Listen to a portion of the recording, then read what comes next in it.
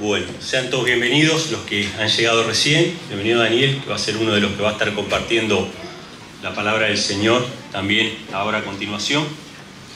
Eh, quisiera compartir con ustedes un pensamiento, hermanos, de la palabra de Dios que tiene que ver con la misma, con la misma Biblia. Constantemente nosotros, como hijos de Dios, como cristianos, como creyentes, nos enfrentamos a diferentes dificultades, a diferentes pruebas. A veces no me gusta llamarle pruebas, pero solemos llamarle así. ¿sí? Son las dificultades propias de la vida. La Biblia dice que Dios hace salir su sol sobre buenos y malos y hace llover sobre justos e injustos.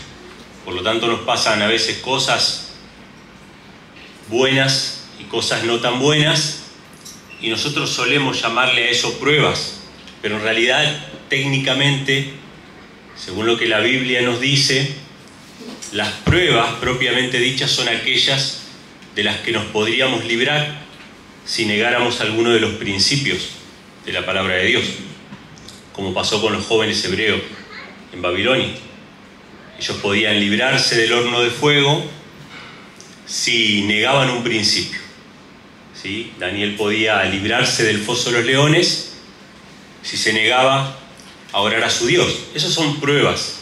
Pero nosotros solemos llamar pruebas a las vicisitudes de la vida, que no por, por no ser técnicamente pruebas son menos dolorosas. Enfrentamos constantemente dificultades. Y yo vine esta semana, estas dos semanas, a visitar a mi familia y una de las grandes pruebas para un padre es tener a un hijo lejos o tener a un hijo que por ahí tiene alguna carencia, alguna necesidad y no saber cómo ayudarlo. Todos los que somos padres sabemos. Entonces durante esta semana yo meditaba en algo puntual. ¿Cuántas veces sufrimos y nos angustiamos?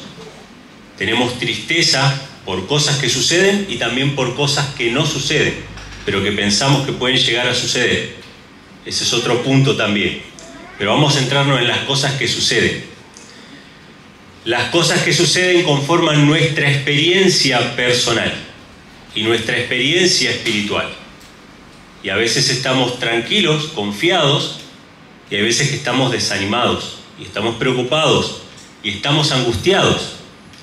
Y todo lo que nos sucede alrededor genera, de alguna u otra manera, angustia en nuestra vida. Entonces, cuando lo que vemos a nuestro alrededor no es favorable, cuando las promesas de los hombres son endebles y sufrimos, ¿qué nos queda? Nos queda solamente confiar en la palabra del Señor, en las promesas de la palabra del Señor. Y ahí es donde nosotros tenemos que poner la palabra del Señor, lo que está escrito, por encima de nuestra experiencia. Y eso, mis hermanos, no es muy sencillo, pero es lo que pasa y lo que nos muestra Dios en toda la Biblia. Y yo quiero meditar en esta mañana acerca de eso. Si basamos nuestra vida espiritual, nuestro estado de ánimo, que la Biblia habla mucho acerca del doble ánimo, de las fluctuaciones, si lo, basamos en el escrito está por encima de nuestra experiencia o nuestras experiencias, las cosas que nos pasan, nuestras carencias, nuestras dificultades, están moldeando nuestra vida espiritual. ¿Sí? Y entonces empecé a buscar en la Biblia, habían algunos ejemplos bien claros que me aparecieron allí, y dije, qué importante es este tema, sobre todo para el tiempo del fin. Yo quiero mencionar dos versículos primeramente, que ustedes se lo van a acordar, les va a quedar de memoria estos dos versículos, porque a mí ya me quedó de memoria, son fáciles. Uno es Mateo capítulo 24, versículo 24, por eso es fácil. Mateo 24, 24, ese no se lo van a olvidar más. Ese versículo y otro más que vamos a leer a continuación nos habla acerca de, y eso sí van a ser las pruebas, esas sí van a ser las pruebas para la iglesia de Dios en los últimos días. Esas no van a ser vicisitudes de la vida, que son las que atravesamos.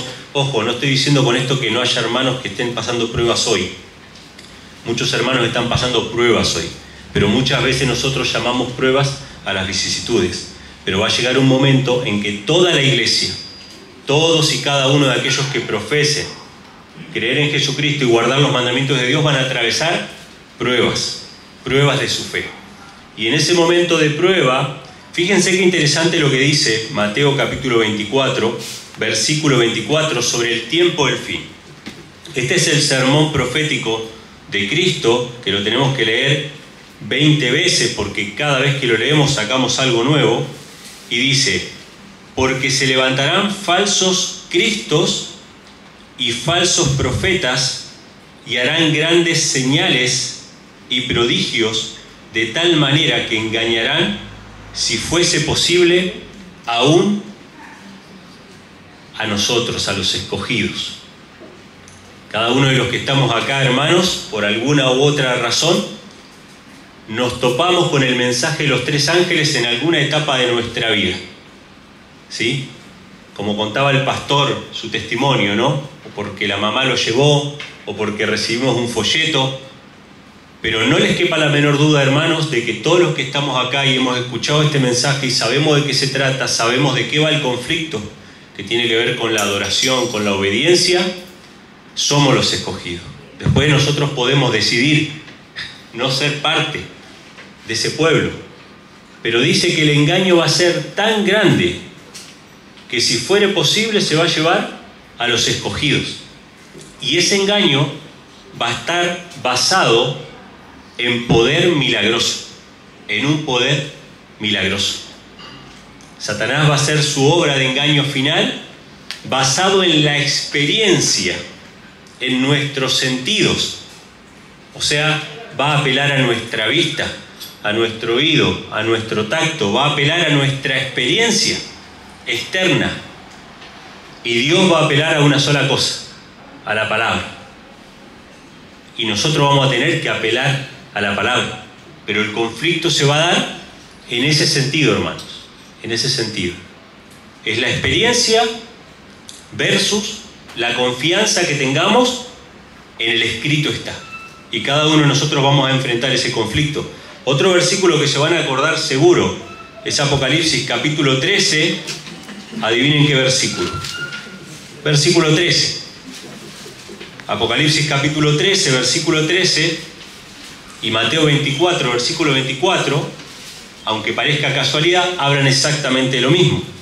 Habla acerca de la bestia, ¿sí? que, de las dos bestias, la bestia que surge del agua y la bestia que surge de la tierra, que son el Vaticano y Estados Unidos, o el protestantismo apóstata, y dice en el versículo 13 que esta bestia hace grandes señales de tal manera que aún hace descender fuego del cielo a la tierra delante de los hombres. Es decir, que el engaño de Satanás en los últimos días consiste en hacer milagros. Lo tenemos en Mateo 24, hablando de los últimos días, y lo tenemos en Apocalipsis capítulo 13 hablando de los últimos días. En el tiempo final, Satanás va a apelar a nuestros sentidos y aún más a nuestra experiencia personal. ¿Qué pasaría si nosotros vemos a una persona que está inválida o que está con una enfermedad y es sanada inmediatamente por alguien que predica algo contrario a la ley de Dios? Es difícil resistir eso. No es fácil resistir eso. Porque estamos hablando de una experiencia. Estamos hablando de algo que se puede ver. Sin embargo, en la palabra tenemos que confiar sin ver. Y ahí es donde radica la fe.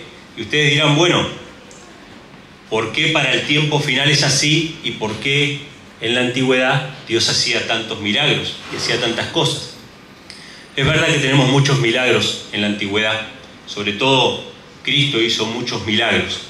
Pero yo quiero compartir con ustedes ahora algunos ejemplos de cómo esos milagros nunca sustituyeron la palabra del Señor. ¿Sí? Pero antes de ir a, a, lo de Cristo, vamos a irnos más atrás, vamos a irnos a la creación. Vamos a irnos al libro de Génesis, con el primer pasaje que me gustaría que nosotros meditemos. Vamos a ir a Génesis, capítulo 1, versículo 26. Esta es la creación de los cielos y la tierra. Génesis capítulo 1, versículo 26 en adelante. Conocemos la historia, fueron seis días creativos y en el sexto día dijo Dios, en el versículo 26, hagamos al hombre a nuestra imagen, conforme a nuestra semejanza, y señoree sobre los peces del mar, sobre las aves de los cielos, sobre las bestias, sobre toda la tierra y sobre todo reptil que se arrastra sobre la tierra. No voy a extenderme en detalles, pero todos sabemos quiénes están conversando aquí, ¿verdad? Cuando dice, hagamos al hombre a nuestra imagen, es un plural, es el padre que le está diciendo a su hijo, y lo sabemos por qué, porque lo dice Colosenses capítulo 1, que Cristo estaba con el Padre creándolo todo, en Proverbios capítulo 8, en Hebreos capítulo 1. Hay muchos textos de la Biblia que nos dicen que los que estaban hablando acá eran dos personas. El Padre le dice a su Hijo, hagamos al hombre a nuestra imagen, conforme a nuestra semejanza. Y dice en el versículo 27, creó Dios al hombre a su imagen, a imagen de Dios lo creó, varón y hembra los creó y los bendijo. Y les dijo Dios, fructificad, multiplicad, llenad la tierra y sojuzgarla, señoread sobre los peces del mar, sobre las aves de los cielos y sobre todas las bestias que se mueven sobre la tierra. Y ahora vamos a saltar al versículo 31 que dice así, y vio Dios todo lo que había hecho y aquí que era bueno en gran manera, y fue la tarde y la mañana, el día sexto. Qué interesante esto, hermanos. Saben que yo meditaba, voy a... Lo que voy a decir ahora no es lo que yo creo, pero voy a ponerme en el papel de aquel que no cree, de aquel que es incrédulo. Yo hubiera hecho las cosas distintas a Dios. ¿Cómo hubiera hecho las cosas yo? Para hacer las cosas más fáciles. Yo hubiese creado a Adán y a Eva en el día 1 y le hubiese mostrado y le hubiese hecho que vea cómo separaba la luz de las tinieblas. Que Adán y Eva vieran cómo separaba las aguas de la tierra, cómo surgía la vegetación, cómo surgían las aves, los peces, cómo se creaban todos los animales, para que él supiera que yo era el creador, que lo hubiese visto con sus propios ojos. Pero Dios no hizo eso. O sea que Adán tuvo que tener fe en una palabra que contaba que los cielos y la tierra se habían hecho en seis días. Él no vio con sus ojos la creación, él tuvo que confiar.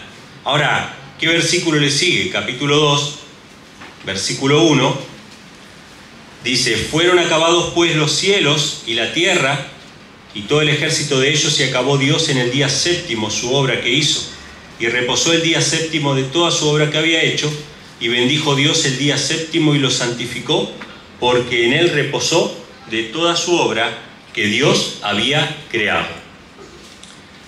El sábado, el primer sábado de, de la historia, guardado por Adán y Eva, fue un sábado guardado por la fe. Adán y Eva tenían que tener confianza en la palabra de Dios, de que Dios había creado todo en seis días y había descansado el séptimo día. Pero pasó más. Vamos al capítulo 2, versículo 20.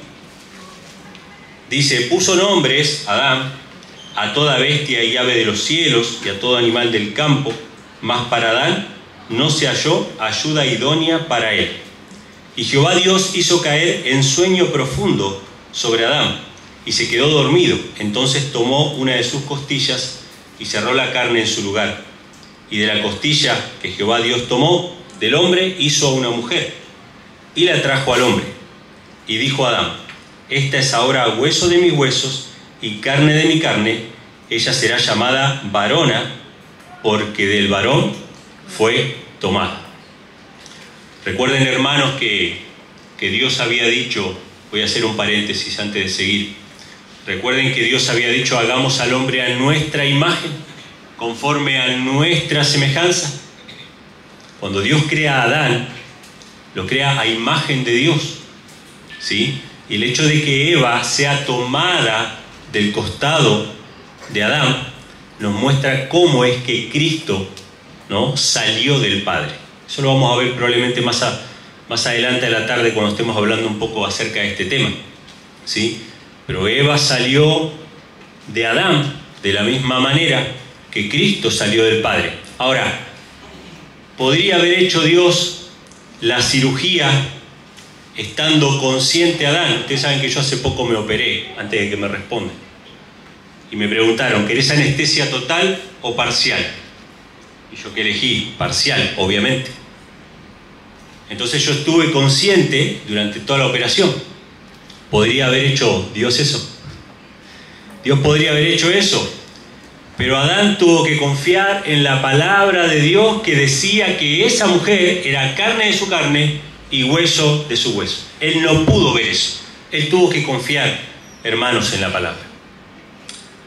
Pero yo quiero reflexionar sobre Cristo ahora, sobre Cristo, porque Cristo es el que más milagros hizo. Y muchas veces ni siquiera hizo milagros porque sabía que los milagros no iban a convencer a aquellos que no querían aceptar la palabra. ¿sí? Por eso prima la palabra sobre la experiencia. Pero vamos a ver un par de ejemplos acerca de Cristo. Uno de ellos se encuentra en Lucas. Vamos a ir al Evangelio de Lucas, capítulo 24, versículo 13. Yo me he sorprendido, hermanos, mientras ustedes buscan Lucas 24, versículo 13, me he sorprendido al ver el resurgir, el reavivamiento que está viendo a nivel mundial del catolicismo romano. Yo no sé cuántos de ustedes lo están viendo. Celebridades, personas influyentes, personas importantes que están levantando el catolicismo romano como el único freno para la decadencia moral, para el progresismo, para las ideas radicales de izquierda, etc. El catolicismo romano está levantando con mucha fuerza y ustedes saben cuál es el centro de, la religión católica romana. Es la, Eucaristía, la Eucaristía, la misa. La misa es el sacramento central de la Iglesia Católica. Y la, y la misa, la Eucaristía, la hostia, se dice en el catolicismo que cuando el sacerdote hace la invocación, eso se transforma en el cuerpo literal de Cristo. Y Él vino en la sangre literal de Cristo. Hay un milagro, dicen ellos. Y ahora están empezando a ver milagros que ratifican o que confirman lo que dice la Iglesia Católica. Entonces, hermanos, es importante que nosotros estemos atentos a eso y que no basemos nuestra experiencia cristiana en lo que nos sucede, en lo que simplemente podemos ver y, ver y tocar. Es más, les voy a decir algo más. Ni aún en nuestras experiencias positivas con Dios. Y voy a dar un ejemplo sobre eso. Ustedes dirán, bueno, pero una experiencia positiva. Sí, hermanos, pero lo que nos sostiene no son nuestras experiencias pasadas. Vamos a ver con un ejemplo concreto. Vamos a Lucas capítulo 24, versículo 13. Esto es después de la muerte de Cristo. Cristo había resucitado, sus apóstoles, sus discípulos la mayoría no sabían que habían resucitado, las mujeres sabían no porque lo habían visto, sino porque habían recibido una palabra de parte de los ángeles, de los varones que ellos vieron, pero Jesús había resucitado. Y dice el versículo 13, he aquí el mismo día, dos de ellos iban a una aldea llamada Emaús, que está como a 60 estadios de Jerusalén, y conversaban entre sí de todas estas cosas que habían acontecido. Y sucedió que mientras conversaban y discutían entre sí, Jesús mismo se acercó y caminó con ellos. Hermanos, ¿qué hacía falta para que ellos se convenzan de que Jesús había resucitado? ver a Jesús. Es decir, Jesús caminó con ellos. Ellos estaban al lado de Cristo. Sin embargo, dice la Biblia, no lo pudieron ver, versículo 16, mas los ojos de ellos estaban embargados para que no le conociesen. Era la voluntad de Cristo que ellos no supiesen con quién iban caminando. Conocemos la historia, vamos a leer el versículo 23. Jesús empieza obviamente a, a preguntarles sobre lo que hablan, empieza a, a predicarles acerca de lo que las escrituras decían. Entonces dice en el versículo 23, ellos cuentan la historia de las mujeres que vieron un milagro, que vieron a los ángeles, dice, no hallando su cuerpo vinieron diciendo que también habían visto visión de ángeles, las cuales dijeron que él vive, fueron algunos de los nuestros al sepulcro, hallaron así como las mujeres habían dicho, mas a él no le vieron, entonces él les dijo, oh insensatos y tardos de corazón para creer todo lo que los profetas han dicho. Qué interesante, ¿no? Jesús les había dicho muchas veces a ellos que era necesario que Él muriese y que resucitase al tercer día. Sin embargo, Jesús apela a lo que los profetas habían dicho. No era necesario que el Cristo padeciera estas cosas y que entrara en su gloria. Y el versículo 27 es uno de los más irónicos para mí. Jesús está resucitado, caminando al lado de estos dos discípulos incrédulos o descorazonados, entristecidos por las circunstancias, las circunstancias adversas de la persecución, y Jesús les abre las escrituras para consolarlos.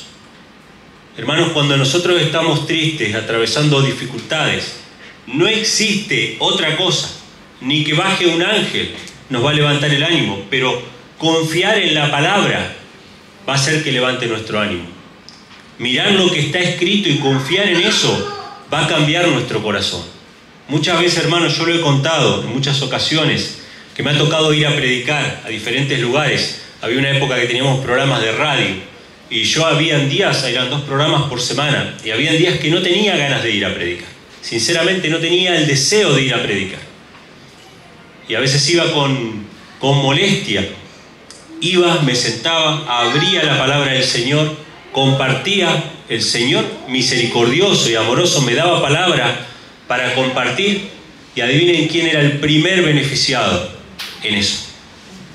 Somos nosotros, hermanos, los primeros beneficiados en predicar el Evangelio.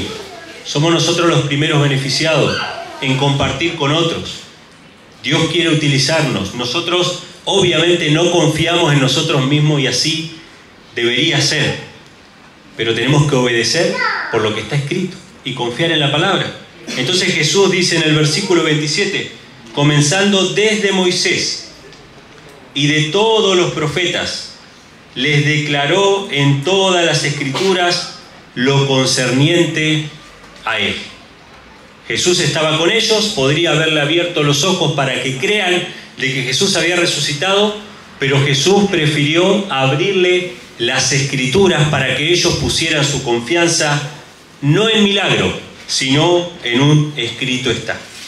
Dice en el versículo 28, llegando a la aldea donde iban, él hizo como que iba más lejos, pero ellos le constriñeron diciendo, quédate con nosotros, porque se hace tarde y el día ya ha declinado.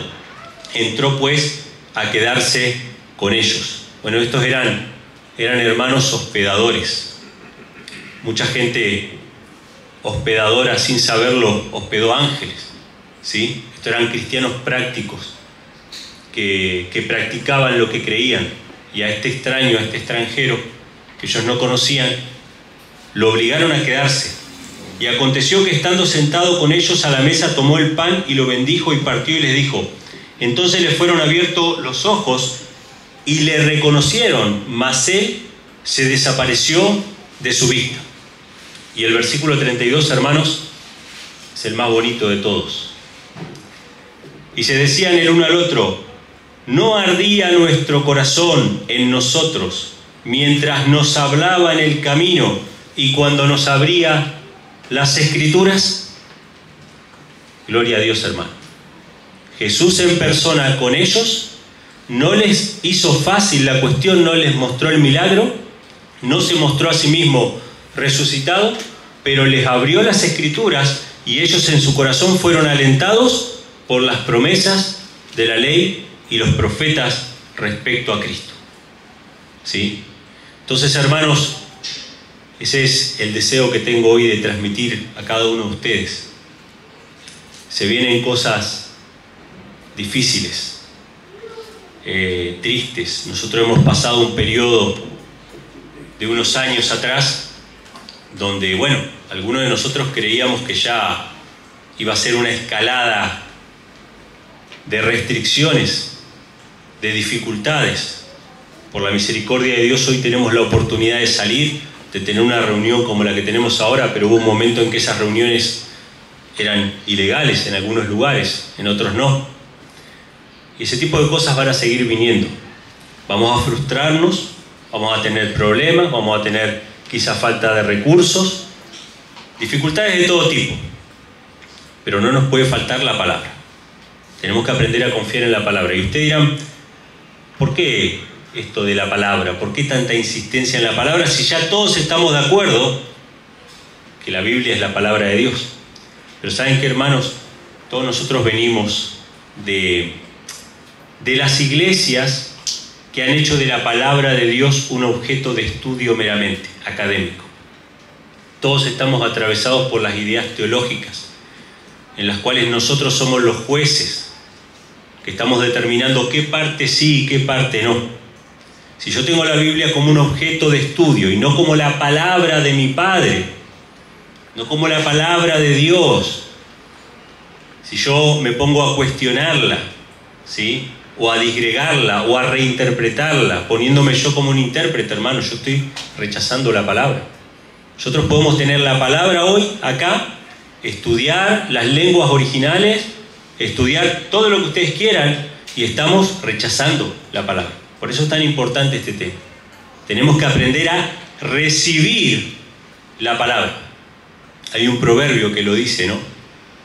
Oye hijo, si tú recibieres mi palabra, el proverbio capítulo 2, si tú recibieres mi palabra, y hay un libro que se escribió en la iglesia adventista, lo escribió un pastor adventista, muy buen libro, del cual he sacado algunos de estos ejemplos que estoy compartiendo con ustedes, que se llama Recibiendo la Palabra.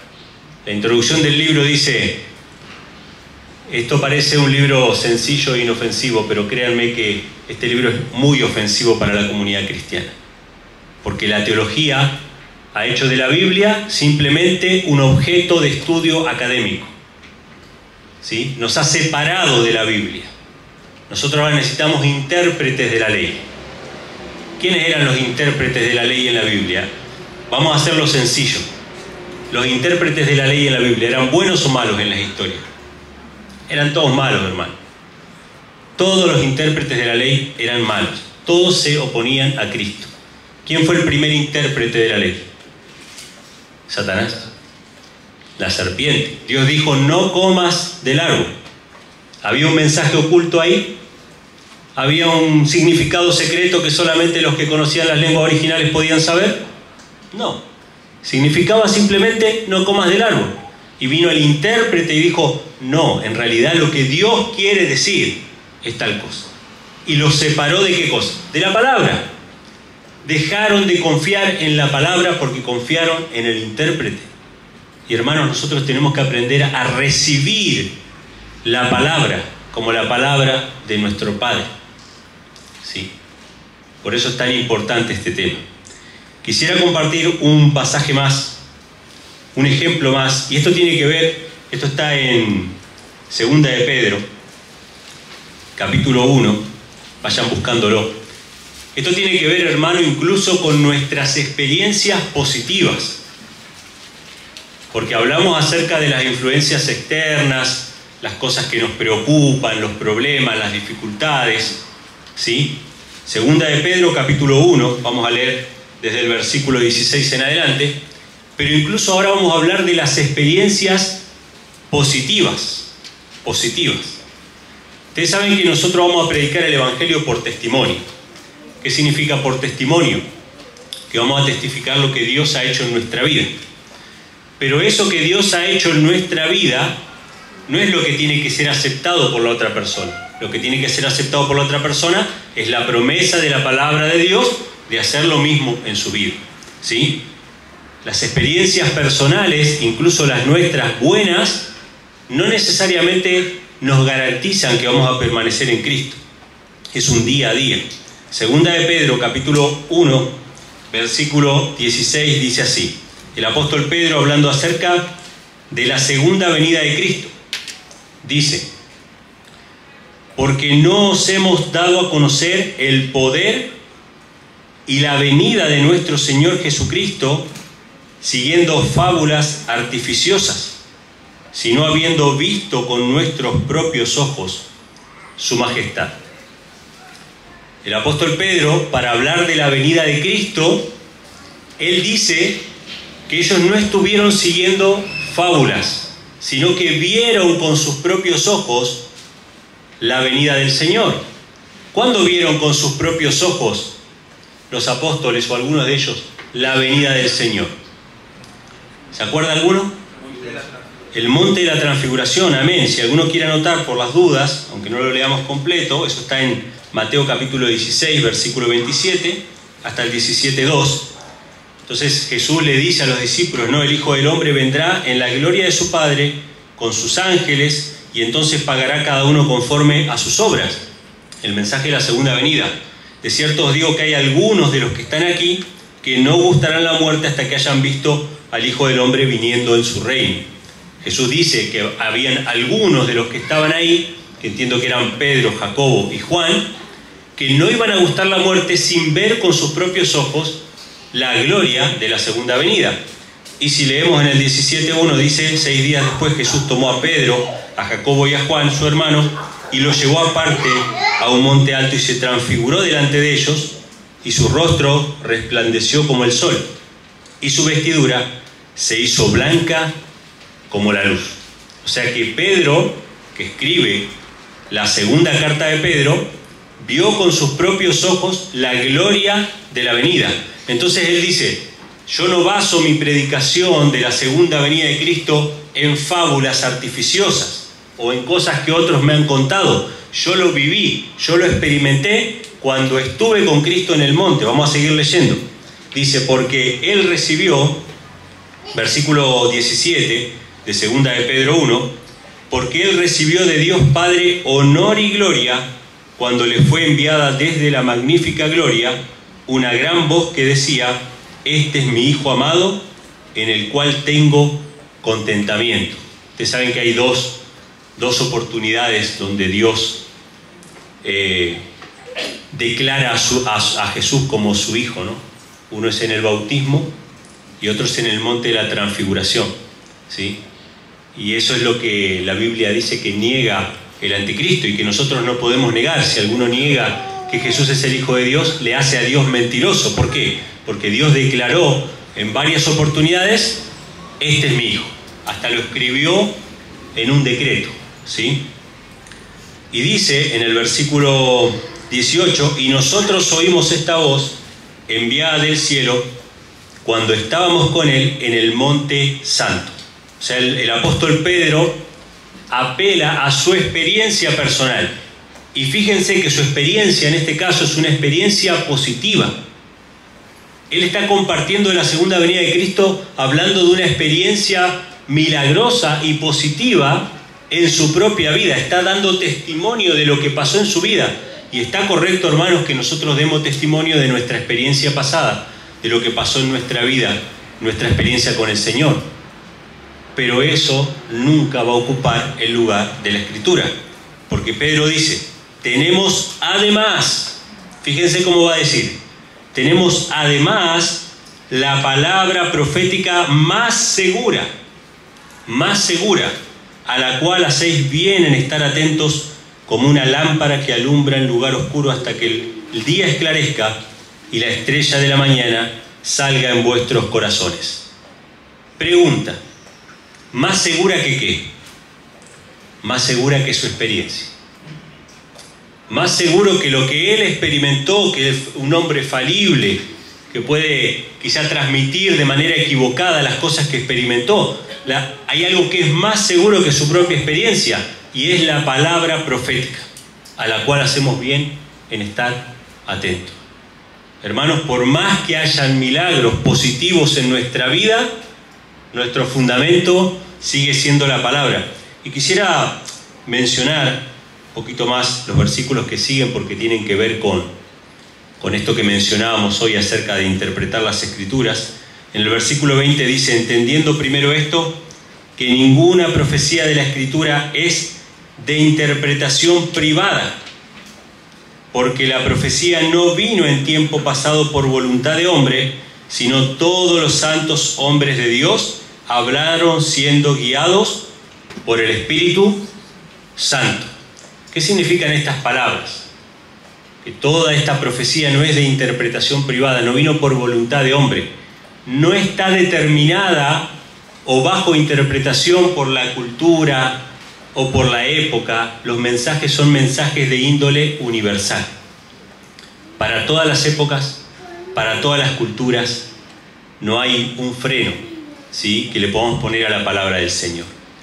El mensaje del Señor, eh, si bien fue dado a través de seres humanos falibles, que escribieron imperfectamente con las limitaciones humanas, el mensaje trasciende las culturas, trasciende las épocas y llega hasta nuestros días.